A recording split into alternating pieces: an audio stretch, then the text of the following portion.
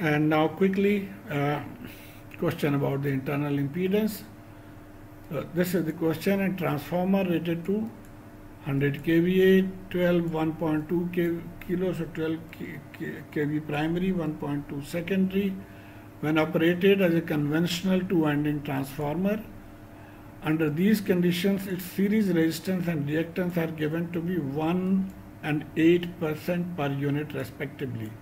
So the uh, series and series reactance and resistance are given with, with this ratio. This transformer is to be used as 13.2 12 kV step down transformer.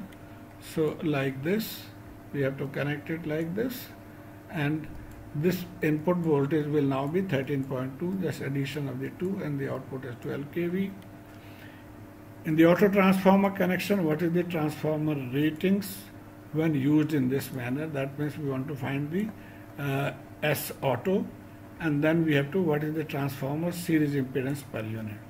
So S auto we have found already uh, we'll follow the same technique. What is the auto transformer rating or power rating when used in this manner? So we'll straight away go to this formula. And plugging in the NC and uh, SC ratio from here you can see. Uh, it is 12.12 and 1.2 so the ratio will be 12 ratio 1.2 or 10 ratio 1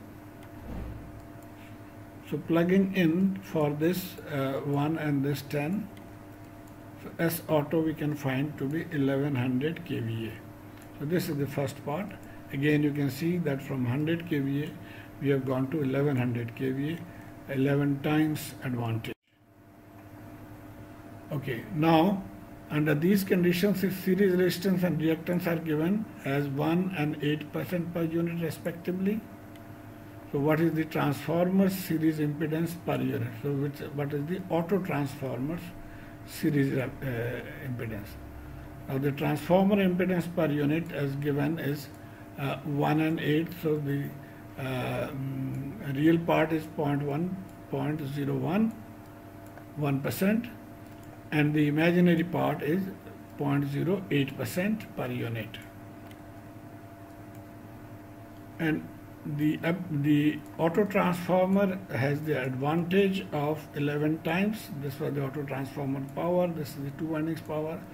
So 11 times power. So we can say that the impedance will reduce by 11 times because the power is increasing so impedance will reduce. So the new impedance of the auto transformer will be